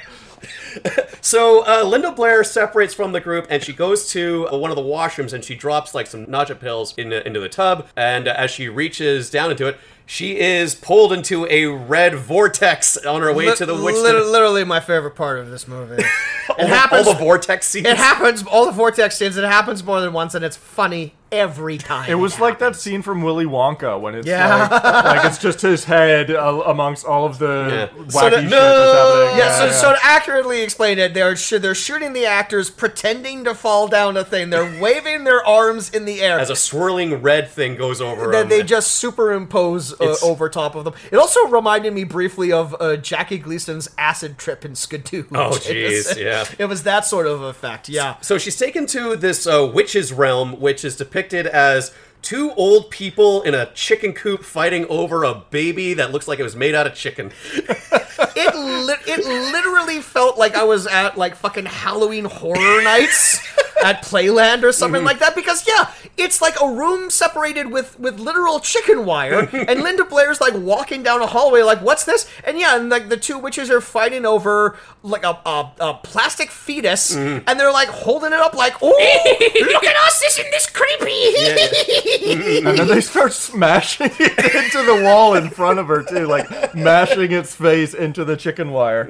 It, that for me was the Mm-hmm. And for like you know these other characters who, who, who will soon be sucked into the witch dimension or or whatever, Mm-hmm. uh, there's no escape. But Linda Blair gets transported back to the hotel almost immediately. Yeah. the, the lady and doesn't suffer like any well because the witch needs her her baby. She needs her baby. Yeah. Yeah. So the the witch just wanted to kind of fuck with her a little bit. You Yeah. know, like this is this is what's gonna happen to you. Yeah. This is what's gonna happen to your baby. One assumes.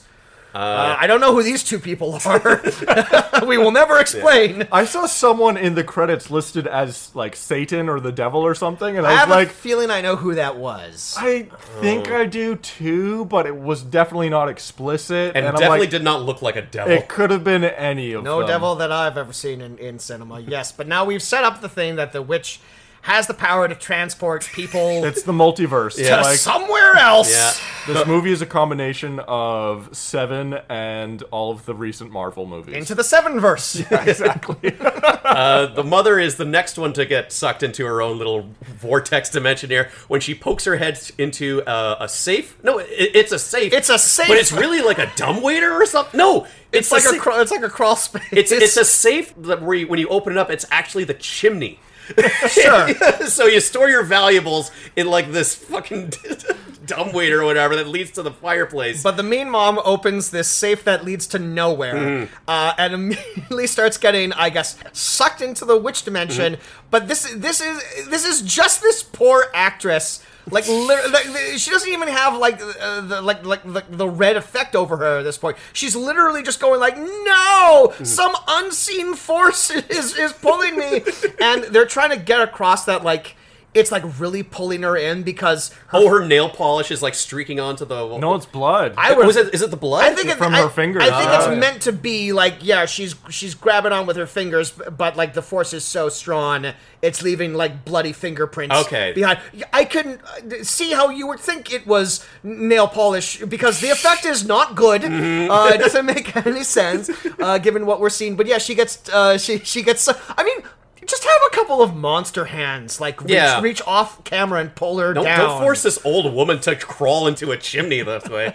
so in her, uh, with her ironic uh, punishment, because she's greedy, she gets punished by having her lips sh- sewn shut, which is a pretty gruesome effect. and, I- Very and, well and is the Yeah. is is the poster image. Yeah. I feel like that's that was uh, uh, rightfully their their money shot Mm. uh, for this. It, uh, it it is an effect that even though you can 100% tell how it was done just by looking at it, you can see like the false Mm. The make- mouth yeah, the ma- over her effect. Mm. mouth. Um, it it doesn't take away from how effective it is. It's still very creepy. It's still very well done. yeah. My my only criticism of it is it goes on way too long. Way too long. Yeah, Oh, I, yeah. I felt like this oh, movie could have been like 30 minutes. for sure. Yeah. like the guy yeah the guy who's like putting the needle into her lips like pokes it through we see like the blood come out of like cool he pokes it back up he goes Like, the other oh, way cool ew. he pokes it in a third time And like, okay, now okay. now it's kind of like going back over Yeah. Mm. the first string or whatever so yeah he's not doing a great job at it no, but it's it's fine. It was at that point that I started taking the movie a bit seriously, though, because Just a the, bit. the practical effects of this it raised my expectations, which might not have been the best thing. this, this was the point in the movie where you said to yourself oh am i about to watch like a horror movie Yeah. it kind of was for a few Yeah. minutes It kind of was. Oh, I mean, like the, the best part of the movie for me is like coming up next, where she's actually in the real world trapped in the chimney, and her lips are sewn shut in the real world. But you know, it's getting cold at night, so they light a fire, and she can't scream for help. And I'm like, this is very clever, very well- genuinely well, done. And it's a, gru- Yeah. a, a, a, a gruesome, ironic end to to an unpleasant character who's been nothing but mean and nasty to Yeah, to very- everyone. very satisfying. in, in, They're this none- film, and she just all her family members are none the wiser that they're burning her alive. Yeah, it's it's very well done. the practical effects for her burning alive are also well done, Mm-hmm. like the skin melting and stuff. I, I will was say, also- having your mouth sewn shut is one thing. I could definitely muffle a scream loud enough that the people in the next room could probably Mm. Yeah. guess that I'm in the fireplace, or at the very least, notice that something is There- is is in the general vicinity of where they're about to start a fire. What's that burning flesh smell? Where's that coming from? Well, Yeah. they do they do touch on that because I was thinking about that, and the guy's like, "That is some interesting smelling wood," and that just it smells like burning human flesh. David Hasselhoff's soon-to-be ex-wife and the son of the real estate guy mm-hmm. Uh, find a little Matthew co- Broderick. Matthew, Bro- Matthew Broderick. Yeah, they, they find another room to bang in, and you know everyone else when they get sucked into like the vortex, there's like a bit of build up to it. Yeah. this one is just like nah, smash cut to And- them in the vortex and together. it's twice as funny because there's two of them doing it. Yeah. And it's- so like, what could be funnier than this? Oh, two people next to each other going like this, and they kind of have different energies. yeah. so their punishment is that she gets strangled, like tied to a chair and strangled. But He also, get- but also, her hand comes off. yeah, I thought that was from the rope, like like it was so tight that it was cutting into the ha- into the wrist. Right. Right. That's what I got Yeah. from that. and his punishment is to get crucified. And it's also confusing because, yeah, the, in the witch dimension, she's strangled with a rope, but when she uh, is placed back into uh, the real dimension or whatever, She's impaled on a swordfish on mounted a, on, on a marlin, she's uh, fishy spike through her neck. Um, That's the right term for it. I couldn't fucking think. I don't know, a sword, whatever. And but his punishment seems to be the same in both dimensions. Yeah. he gets crucified. He gets crucified the right way up in the ghost dimension, but when he comes back, uh, he's upside down. Yeah. Well, that was the same thing with the with the mom too. Rose was upside down. Yeah, so maybe when you come we out of the go. witch dimension, Maybe it's the upside down. Maybe this is a Stranger Things prequel. How about that? There you You're go. covering all the bases. It would make sense. Mm-hmm. Yeah. this movie predicted everything. it's ahead of its time. Yeah, a real watershed moment I when this thought- film was made. I was thinking because you know the because the mom was cruel and her mouth getting shown up there uh, sewn up there was some irony there and then like the lust lady Sure. gets penetrated by the phallus sword or whatever Um, and then Buddy just gets crucified because why not? It's cool. And it But is, it- and his his sin was was avarice, right? I think he was also lust. Like, I th- or Oh, I th- maybe yeah. it was a it was a lust twofer. Yeah, Yeah. Well, yeah, Okay, because like we would like it if this movie was uh, acknowledging the seven deadly sins, but the witch specifies that the three doors to to hell are through greed, lust, and uh, the blood of a blood of a virgin. virgin. And there you go. kind of uh, kind of off topic there. Kind of, you kind of we lost kind the thread here. By One the of the third door, we like forgot what we were doing. um, well, so it's really not one for one. The the the mean mom is greedy, so her mouth is sewn shut. Yeah, I Yeah, What does that don't have to do with anything? I just thought because she was That's a mean gluttony to. thing. Yeah. I Yeah. guess. Yeah, I Yeah. mean, you know, she's always running her mouth. You know, these broads. I also thought it was weird when uh, Buddy, when Matthew Broderick gets crucified and set on fire. buddy. How's it going? she's burning a voodoo doll. I'm like, he's already on fire. Why are you burning the voodoo doll? It seems. That's how you set. That's how it works. That's how you get the body on fire. Because you gotta. But But she's a witch. We saw the fire uh, underneath the the cru- crucifixion before we see her like lighting the voodoo doll. Right. on Well, they had to set that fire early, Danny, because they were out, they were on like a Uh, time, yeah, they were on like time in constraints. stormy weather. yeah, Yeah, exactly. The rain's gonna put this out. The We rain had that's one- not there. We had one shot where we could get the fire under this crucifix, and I don't I don't care how early we're editing it back into Yeah. the movie. Yeah. So yeah, so the people are starting to clue in that uh, there's witchery afoot. Uh, That should have been the title. Witchery afoot. Yeah. That's what you need. You need one more word in the title. Witchery uh, parentheses afoot. It has to be in parentheses. That's how you know it's a movie title. David Hasselhoff's girlfriend confirms that, like, yes, it's a satanic ritual. That's I- going. I wrote that was down. Like Jesus Christ, lady. The upside down cross where Jerry was burned, and Linda slashed throat. It's all part of an ancient satanic ritual. She said satanic, and then I paused the movie, and then I started writing it down, and then I realized. How, how do you write down satanic? How does one like I put S A T O. Oh, like the drink. Oh, that makes more yeah. sense than what I did. Yeah, but she says satanic. Tommy at one point says he has to go to the bathroom. Yes, which I is also the wrote room that where you down keep too. your fish. I has to go to the bathroom. Well, that's where the Marlin was. It's like, a, that's like it would it would make so much sense if it was like a small Italian boy. He speaks like he's like a like like a small Mexican man. I have I has to go to the to the washrooms. It's very strange. This this child's accent. I don't know where Yeah. it comes from.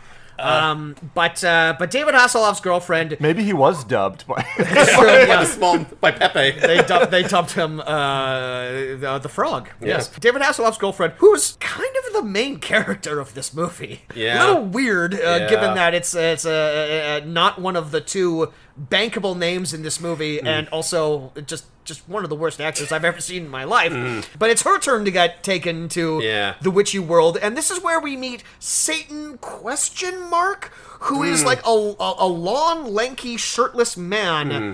who has like a like a goopy mouth. Hmm. I don't really have any other way to describe it. How would you describe this guy's mouth other than yuck? Yeah, it, it's it's bloody. Uh, it's, it's very kind of flappy and fleshy. Uh, Viscous? yeah. Like it look it's that thing where like Jonah Hex from. Jonah Hex Kind but, of, yeah. but but like but across the whole mouth. I thought honestly when I first saw him, I thought his mouth had been sewn together as well, um, just because it it was quite across everything. It's it's kind of like uh, like the Predator. It, it could split apart. Um, it was sideways almost. Uh, I don't know. What it reminded me of, like, think about like anthropomorphic cartoon slime.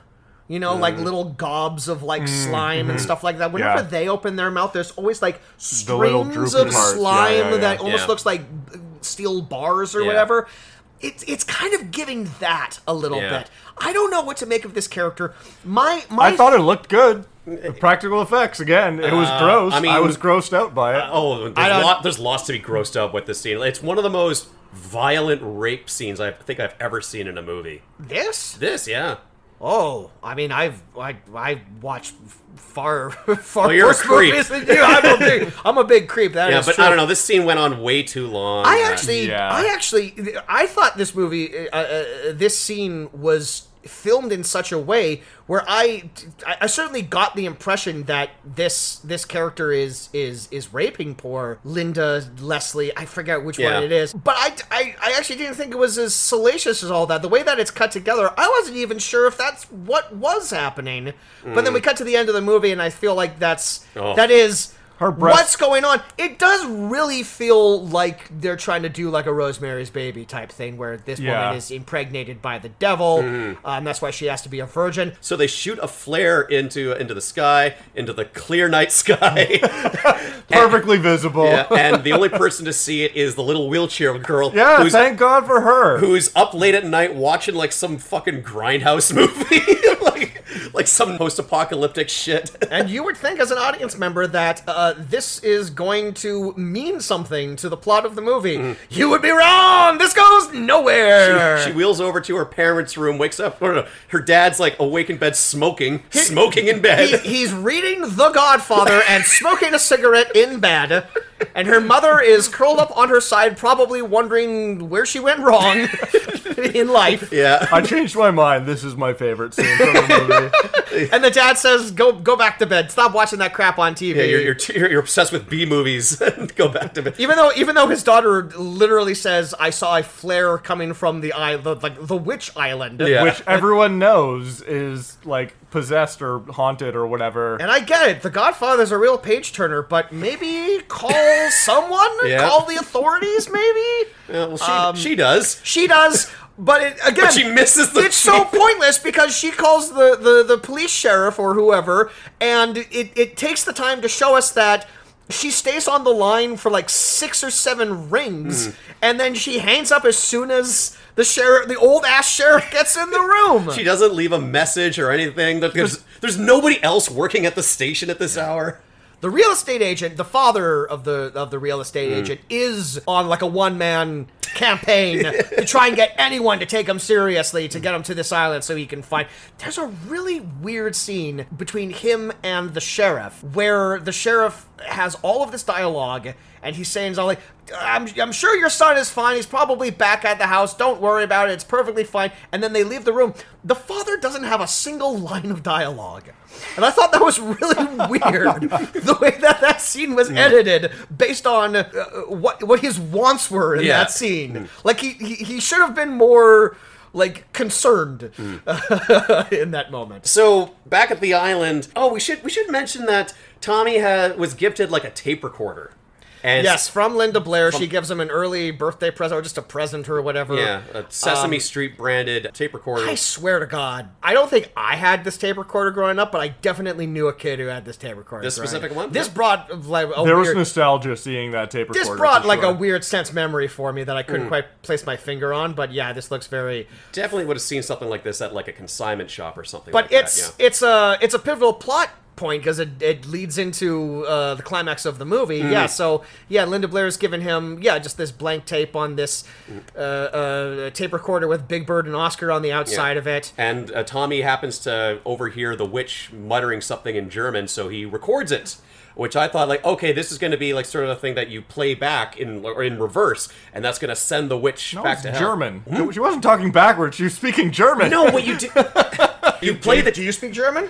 No, but I know Nine. How do you German. how do you know she wasn't speaking backwards, baby? No, what I'm saying. sorry, what I'm what I'm getting at is you play the tape in reverse, and that's going to send. Uh, That's the back- Beatles. Jesus. Christ. All right. yeah, you sync it up with the Wizard of Oz or whatever. um, yeah, and so like he- he's like listening to like the witch talk in German. David Hasselhoff says something in a weird Scottish accent to the kid. Uh, Tommy, my lad, women will drive you around the bend. They'll put the very devil in you. I don't think Hasselhoff is great with kids, and this is this is why. Like, I don't know if he's trying to endear himself to the kid, but he's doing a lot of accent That's work. clearly what he's doing. He's trying to yeah, and then and then Tommy opens his mouth and Hasselhoff realizes what kind of kid he's working with here. So. Immediately walks away. I will say, when you want your Hasselhoff to come off as the best actor in the movie, Surround him with this surround cast. him with this cast, which I should point out includes an Academy Award nominee. I'm sorry, Linda, this is sort of your episode. You're not great in this movie No. either. You're kind of pretty bad. My God, when she- honestly, when I mean, she- she's not as bad as most of these other No. actors, but the one scene where she has a dialogue with the Virgin, I was like, oh my God, poor Linda. So, do you believe in paranormal phenomena? Do you study professionally, or is it a hobby? You know, witches, spirit spells, unexplainable events. Well, yeah, I've studied for so many years, I definitely believe in it. uh, this movie does pass the Bechdel test, though. Yeah. There, I, I wrote I wrote that down. Yeah, they're, they're not talking about a man. not they're talking about a man. They're talking, about about, a a witch. Oh, so um, the witch gets a hold of the father's embroidered His handkerchief. embroidered handkerchief. It's a very it's a very silly moment. It's like you see this the, with his initials FB on it, and I feel like the witch has like this line where she's all like F for fear and B for blood. it's like all right, we didn't really need to go that far. we get it. You're, you're spooky. uh, sh- she wraps it. She's really reaching for like the Yeah. the uh, ironic deaths at this point because she starts stabbing him, and that's the blood. At this point in time, we have found the mom in the fireplace, and Yes. it's at this point in time uh, that we realize uh, absolutely no one is is shocked or upset at the death of this woman. it's it's predicated by uh, Linda Blair literally saying, "Where's Rose?" And at that point in time, I'm like, "Isn't that your mom? Yeah. Isn't that literally your mom? Why are you calling her that?" Yeah. She insists on it. And she is saying, yeah, exactly, yeah. But she, I what she- hate. I hate being a mother. what I she- hate being called a I mother. hate, I hate being a mother so much. That's why I had Two kids. a small child very late in my life. Yeah, like that- that's. It, it would. Tommy's like what six, and she's this woman's like pushing fifty. You could be mistaken. Like I thought maybe they were grandparents, but nope, that's her son. And also at this time, yeah, her husband they they find her body in the uh, the chi- the chimney after he says like that's some weird smelling wood, and then the corpse falls down, and his immediate next line is "We're never getting out of here." And my my reaction to that is all like, "That's your wife, man! Come on! I know like things weren't going so well in the marriage, but like show a, show a little anything, yeah, really. you know, a surprise, show anything." Uh, yeah, so she makes that voodoo doll uh, that has like a smiley face on it. Hey, That's a nice Gotta touch. add a little bit of flair. Yeah, uh, she starts stabbing the voodoo doll, and then he just you know, hemorrhages all the blood everywhere. A a, ra- a pretty cool effect where like his veins are like the veins, the pulsating. popping veins. Yeah. Yeah. Yeah. Again, Vein practical stuff is- effects. vein stuff is creepy, so the yeah. idea of just like your veins just like exploding, yeah, that's a creepy image. yeah, I liked it. Yeah. Yeah. Um, around, Linda, Linda Blair gets like a, a good face full of her her dad's blood when his when his neck vein just Mm. Yeah, like good splatter. Oh, the out of artery, nowhere. yeah, Yeah, yeah, yeah. No, Yeah. That, no, that was great. You know, around this time, the chief of police and the real estate dad they they get a helicopter, and because I guess it, the wind has died down, and But just for that one for moment, for the though, one window. because because yeah, because when they get to the island, as soon as they get to the island, the helicopter pilot's basically like, "We really got to take this thing back. This wind is this gonna we, we can't set down on the island." Hmm. He says, "Yeah, we can't set down on the island." So my thought was, like, "Why'd you take the helicopter?" Yeah, just to then? check in on 'em, Yeah, yeah. just to see. I loved how the time of day kept changing in Yes. every fucking shot of that helicopter scene. Well, sometimes it's day. sometimes, it's dusk. Sometimes, Sometimes, sometimes it's night. Sometimes it's day for night. yeah. completely changes within Yeah. uh, with, within within the same scene. Yeah. Sometimes. Uh, the people can't get out of the house. The witch is using all this power to like lock all the doors and windows, so they can't, you know, wave down the, the helicopter. So the helicopter fucks off. I was surprised and quite impressed that this derelict hotel had bulletproof glass windows when they start smashing it with it. I mean, I guess it could be magic. it's but- magic windows. Yeah, yeah, I guess, but it just struck me that this how house. Now I'm saying it. Uh, the It's casa, The casa. Italian for hotel. you heard it here first. I'm surprised they didn't even just try to find like the heaviest thing in the room and smash a window. Hasselhoff does. he does. He gets a chair. I- was a chair. Oh, he does. Okay, maybe I was just like dead-eyed staring at that projector, the movie projector, and just being like, "Use that." Yeah, we don't need this Try anymore. that. yeah. You know. throw the kid out the window. yeah. He's pretty heavy. Yeah, this scene just goes on for so long. Like the helicopter circles around. The real estate dad is all like, I guess they're not here. And then, like, for half a second, he's all like, wait, I heard something. And then they go back, and then they leave again. It's just like, God, we gotta. They Mm. Yeah. really needed to, like, fill up this runtime with Yeah. just, like, unnecessary bullshit. Kind of like these podcast episodes. That's right. Yeah, we're very familiar with that. Um, at one point, Linda Blair becomes possessed by the witch. Yes. Uh, Play, playing to her strengths. yeah, and she's got a she's got a funky hairdo because that's how you know she's spooky. What happens? Uh, they they manage to get out of the house once the helicopter leaves, so the witch kind of allows them We to find out that the woman in black wants to. Uh, she's doing some sort of spell that'll make her be reborn again in Linda Blair's baby. Yeah. I think is the idea. Possibly, yeah. Yeah, but again, it's very. Uh, it's very poorly explained, and the people who are explaining it have thick accents, so it's it's kind of, it's Yeah. a little tricky to figure out what's going on. They think they see the woman in black at, at, the, on the top floor of the house, like in the attic. So they rush up there. Tommy says, "That's not the witch," and uh, they open the door, and oh, it's it's uh, it's creepy uh, Linda Blair. And at that point, uh, it's the ending to Super Metroid, where the house starts collapsing, and they they have to get out of the house. Hasselhoff and his girlfriend run down to his little boat, and uh, they th- that's when they remember. Oh, right, there's like a child. There's like a defenseless child. So we gotta run back. We gotta get Tommy. Uh, and they they run back into the house. That's that's falling apart or whatever. There's an earlier scene where Tommy's playing around with his Big Bird uh, tape recorder thing, and he just awkwardly says, "I love you, Jane. I love you, Jane. I love you, Jane," over and over again. Yeah. Uh, he says it like nine or ten times. Weird thing to record. Weird but, thing to do it, but it turned out he did it for a reason. It was Chekhov's Sesame Street tape recorder. Yeah. I love you, Jane. I love you, Jane. I love you, Jane. I love you, Jean. I love you, Jean. yeah, like David Hasselhoff gets stabbed with like a, a fork or something. Yeah, I didn't know what that was. or who stabbed him. there Slightly was no bigger one than there. a fork. Yeah. Looked like a like a devil's pitchfork almost. Exactly, yeah. He got stabbed with something. He got stabbed from behind, and he's down for the count.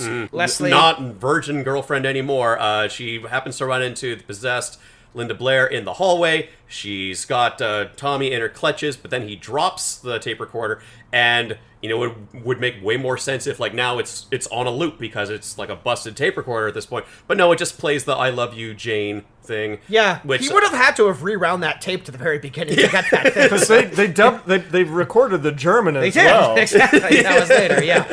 yeah, uh, and, and, Linda Blair has enough of her her sense uh, to to to claw her away from the witch's grasp, Hmm. and she recreates the opening and she throws herself uh, through through the window. Does she survive? Unknown. yeah, well, and that's uh, actually I, I actually I really appreciated that ending because the initial woman I'm remembering now she was not a witch. She was potentially going to become a witch and chose to kill herself. I mean, it doesn't make sense with the so it's like a time loop thing. Like, a- I, I don't know if they were fully doing a time loop, but it was certainly like a Oh, throwback. she was to- she was the original Linda Blair. This was this Yeah. was the first time that the woman in black tried to do this thing and re reborn herself through another woman's baby. Is that the I, is that the, the track know. that you're on? I just the, the the first scene from what I remember when they're describing the history of this hotel was someone chose to kill themselves by throwing themselves out of a window rather than become a witch, and then Linda Blair ends up doing that exact thing. And I thought, dressed dressed the same as dressed the uh, exact dressed same, the exact yeah. same, and she's pregnant in, as in well. her yeah. shower curtain or whatever outfit that was. She's heavily pregnant, you know. So, I'm so you know, everything yeah. looks like a shower curtain at that point in time. Yeah, that's fair. The the leisure wear of, of Yes. today has not yet been invented yet. Um, so Hasselhoff's dead. Linda Blair, question, Possibly dead. Possibly dead. I think we can infer maybe that she is. Yeah, And the fate of Tommy is kind of unknown, but I, Completely up in I the assume air. he's fine back He on the is- mainland. the- the- one of uh, the his last entire lines his about- entire family is now dead. yeah, including his very his suspiciously old mom. yeah. And uh, the movie wraps up very fucking quickly with a cut to a hospital the very next day where uh, Leslie wakes up and the doctor says like, "Well, you should be fine, and so will your baby." And Leslie looks at the camera and says, "My baby," No, no, no. She says, "My baby." and looks directly at the camera in a very like, like It wah, was- wah, wah, wah. It was somewhere between the two of those. Yeah. Uh, it- there was definitely a my baby kind of like I think that was the intention. Which again, it feels like the writers of this forgot what they were trying to do. because Linda Blair had the baby. We just needed the virgin for her blood. Yeah. But at some point in time, she was impregnated by Melty Mouth Man. Yeah, I think this was the prequel to The Omen. I think that uh, this child is clearly the son of the devil. Uh, and then the you know it just seamlessly moves into the omen and you know she names the child Damien and you know the rest is history Right. Uh, in Italy, uh, the Omen is known as the Casa of the, like- Casa, the Casa Casa- Seven. They jumped all the way to 28 Yeah. for that one. Yeah, exactly. No, yeah. it, it really does feel like they tried to do too much with this movie, but they also didn't put enough thought into everything they wanted to do. yeah And it's interesting because it's a very short movie, and yet it is filled with time wasting. Yeah. it's a lot of like s- they really gotta stretch this this the time limit out. It's barely an hour and a half. yeah, a lot of spinning its wheels. So yeah, that's Witchery. Mm-hmm. Uh, was there anything uh, that happened that uh, we didn't cover that we wanted to uh, bring up? One thing that I noticed in the o- like all the way back in the opening credits is that this movie was produced by Production Group. You're not wrong. Which, all right, that tracks, but yeah, that is a phony fucking shell company if I ever heard one. so uh, Witchery, La Casa Quattro. Uh, does it have a certain something or just a whole lot of nothing? Danny, you are the guest. What are, what are your thoughts? I thought it, even with the bad acting, if it had better editing, it could have been a decent movie. I think there was a solid foundation. The practical effects were good. The story was generic in the sense of like it's the haunted hotel with a witch and you know summoning the devil with all these rituals. that old chestnut. Yeah. Yeah, yeah, yeah. So like it would it would never have been like fantastic because it didn't have an original premise, but I thought that the the idea of the story of like, you know, with the uh, attaching it to the seven deadly sins and um, Even though it only covered Give, like three give of or them. take. Give or take. Yeah. you know, the, uh, rounding down. The seven, the seven deadly sins. Give or take five. Uh, like I think that if they had, as we kind of alluded to, like with the writing, they were trying to do a lot, and some of them I think were genuinely good ideas. The practical effects were amazing, like surprisingly good for how bad the rest of it was. Um, if I can f- forgive bad acting because it can just be funny, um, but like the I don't know, a lot of it was just tedious to get through uh, just because of how long it was. So yeah, like cutting it down to like 30 minutes um, and maybe adjusting some of the plot points a little bit might have made a good movie. As it currently is, it was awful. I mean, like nice to see the the good practical effects was cool, um, but like you know, kind of like we were saying with Troll Two, like you could just see some clips of that, and then you've seen all the good parts of the movie.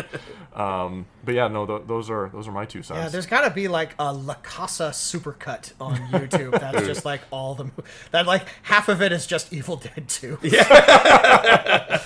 it's all like, oh wow, they really dropped dropped their production budget for these later movies. You know, like I, I agree totally 100% with what you're saying there, Danny. There's a lot of stuff here in the movie that is very effective, uh, done done very well. I've seen worse Italian B movies Oh, yeah. than this one. There's like a few technical hiccups on there. The acting is, I think, hilariously bad Mm-hmm. uh, in places. I think this would have been a fun thing to watch as a group, but yeah, like a lot of the uh, the ideas of those, the sort of the plot centric stuff it leaves you questioning things a little bit more like why didn't they just do this like or why did they include that if they're not going to follow up on it so i think that you know kind of breaks down on a narrative level uh, but you know it's shot well enough the effects are, are good some of the, the uh, practical effects are good. practical The rest of the effects right yeah are the- very yes, bad. yeah. and and don't even make sense. And even the parts that we liked, yeah, I, we kind of all agreed that they ran a little too long. I don't know. There's there's some decent bones to this, but I I couldn't recommend this in good conscience. Um, I'm gonna give it a light recommendation. Look, I think if you sign up for a movie that has this sort of pedigree, that is like one movie but has been retitled as like a different movie, uh, and has You get what you pay for. and has actors who clearly aren't speaking their native tongue Mm. and and uh, was seemingly edited by a leaf blower. Uh, you know, you you get what you signed up for, and I got what I signed up for. I got uh, some some grade A Italian schlock. Yeah. and we're uh, big fans of. You can't you can't judge this on the merits of like other horror movies. I- you I know, s- you gotta judge it on like the merits of like they What it is, not what you wanted it They to be. They made this for five hundred dollars in a sandwich. That's You right. know, like they just like shot it over a weekend. Uh, I will say that I did enjoy this movie more than I thought I would. I think it really starts picking up after like the the, the witch kills the boat captain. So eh, Yes. yeah. And it's the second movie we've done in a row with a salty sea dog. I- so there we go. This, this one had no lines. no, he had no dialogue. Yeah. Uh, probably for the best. All right, uh, that was witchery. That was witchery. That was some some witchery was afoot, and we got we got underneath it. Mm-hmm. Danny, Thanks so much for being thanks here. for coming back. Yep. Thanks for having me. Mm. I don't know. It was it's- third time the charm. I feel charmed, in, in, especially in terms of the fact that we're talking about witchcraft. Well, Okay. a charm. I got it. Yeah. Thank you, Well, and we're ch- uh, when you know what? Now that you're I can make bad puns too. You're in good want. company. That's what we want. Uh, and your charming presence has charmed us. Mm. Is what I will say. Enchanted us. Enchanted us indeed. Um, Bewitched you. I wouldn't go that of- far. all, all of the above. Witchery. All right. Uh, directed by Fabrizio something or other. My book's all the way over here. I'm not even going to look it up. Pagliacci. Pa- Yay! um, if you like this episode, please check out our back catalog. We have a bunch of episodes recorded under the fuck is this? It's basically the exact same show. You can follow us on all of the social media Facebook, Twitter, X, that's the same thing, Instagram. Uh, we'd like to thank Eddie Lamb for his fantastic theme music. You can follow me on Letterboxd. I'm Kaz Lesgard. Uh, yeah, thanks for listening, everybody. My name's Jameson Rafter. I have uh, some YouTube uh, cartoons that you can find on Uptown Slim Jim. I'll leave you all with this uh, movie quote that uh, Linda Blair said in uh, one of her famous roles Your mother sucks cocks in hell. I, I would have assumed. Yeah. I, I had to assume that that, that would that, the would- one. that would have been. Well, the name one. another iconic movie line that Linda Blair says. Here, I got this. I got that. You press record, Mm-hmm. and then Big Bird says.